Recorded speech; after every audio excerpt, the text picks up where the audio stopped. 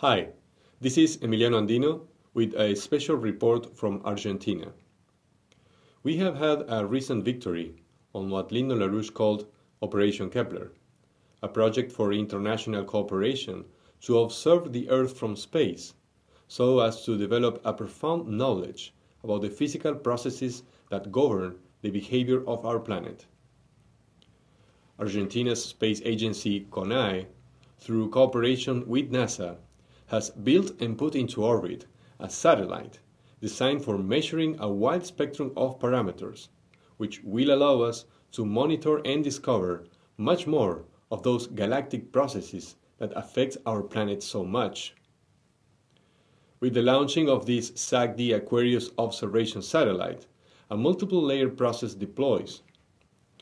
First, the amplification of our senses through these instruments that will allow us to artificially perceive what we biologically cannot, the so called extended sensorium. But that only has real value if it is taken with the adequate hypothesis that during these times to come, there is the urgent search for understanding the simultaneous interaction of radiation in the domain of our solar system and of our galaxy.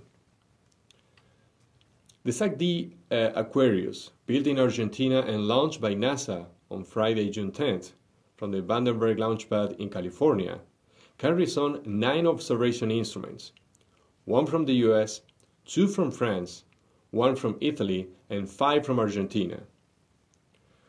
The Aquarius, a new technology instrumentation built by NASA,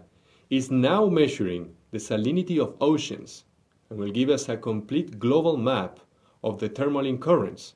much better than the one we use today based on floating sensors. The rest of the instrumentation will be capable of measuring the humidity and temperature of soils, continental water bodies, intensity and distribution of night lights, snow quantity and distribution, precipitations, wind speeds, ice concentration, volcanic ash density, effects of cosmic radiation on electronic devices, and many natural catastrophe precursors. These are strategic parameters to develop better climate models, generate early alerts on floods and droughts, available water for next summer, monitoring the dispersal of diseases, and could also warn us on coming hurricanes and earthquakes. With that on mind, let's see now a report on the ground.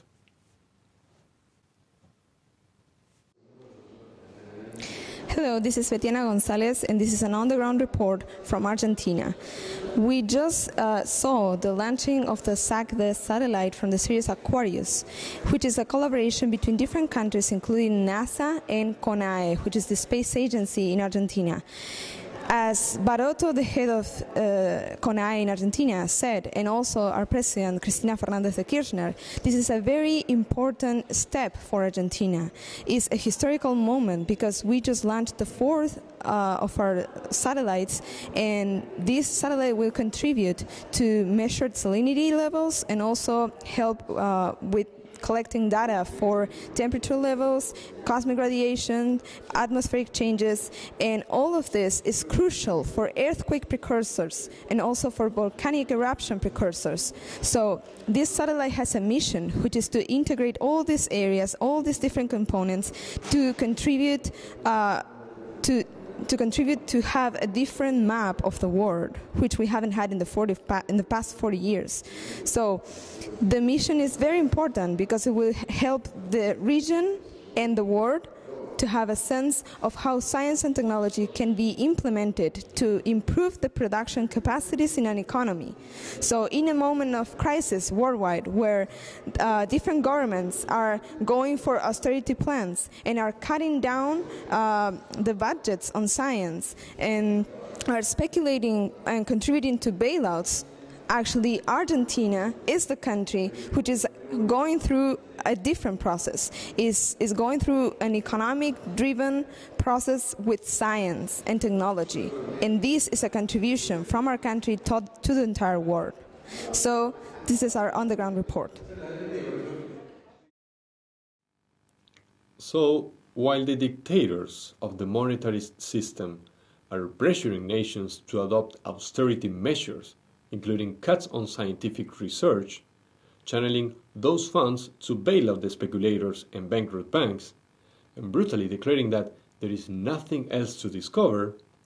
the SAC-D Aquarius represents a renaissance of space programs based on international cooperation and with public access to all the gathered information. Now, this kind of commitment and initiative does not come from out of nowhere. This is the classic humanistic scientific legacy that for centuries runs away from the persecution by the imperial system, moving from continent to continent, to avoid perishing in nations taken over by that oligarchical system. In this case today, we are in the forefront of another expression of that process when we see this vibrant identification with science in Argentina a particular development with great advances in the last century, but mainly after the 1940s, during Juan Perón's first presidency, when scientists and engineers from France,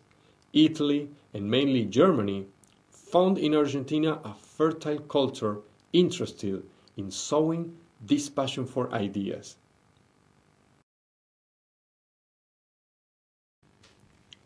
The efforts towards thermonuclear energy and the successful development of aeronautics, rocketry, biology, and space medicine